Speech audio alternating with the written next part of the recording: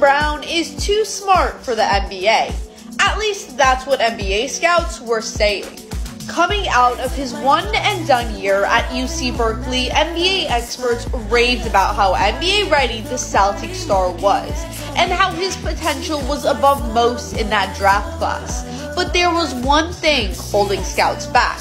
That one thing is that he had too many interests outside of basketball and always put his studies first as a chemistry major.